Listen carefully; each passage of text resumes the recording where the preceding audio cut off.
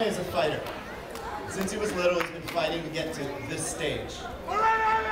He's been sparring with his priorities. He's never been knocked down. A few times on the ropes, but he came back swinging.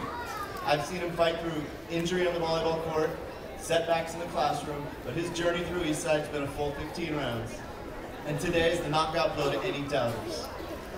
Jaime's off to his title fight next year at San Jose State University.